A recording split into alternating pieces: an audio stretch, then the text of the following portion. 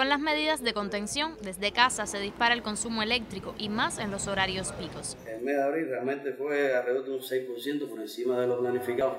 El aporte fundamental del, sobreconsumo que tuvo la, la provincia, de alguna manera, aunque ya hablamos también del sector residencial y de, bueno, de manera integral en todos los, niveles y los sectores de, de clientes, pues también estuvo en la producción del sector estatal. Hay un incremento realmente del consumo de, la, de las grandes industrias nuestras, cemento y refinería, que son de producción de gran importancia para el país.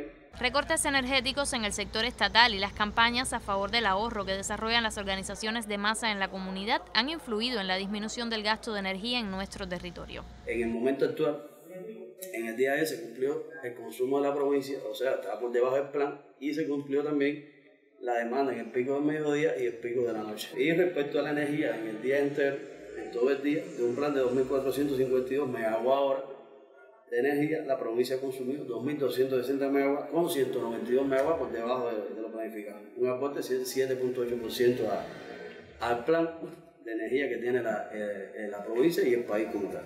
La generación eléctrica se mantiene en Cienfuegos ininterrumpida pese a las restricciones de recursos. Se trata de crear conciencia porque es el ahorro desde los hogares la mejor solución para contribuir con los gastos del país.